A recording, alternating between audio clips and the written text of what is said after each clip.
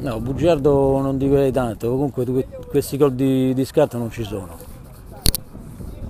La Lazio è una, una bravissima squadra, hanno degli ottimi elementi, eh, per noi è stato un buon test, comunque non abbiamo giocato nelle nostre, come giochiamo di solito, non, non è andata bene per noi, comunque la Lazio è una bellissima squadra, gioca benissimo.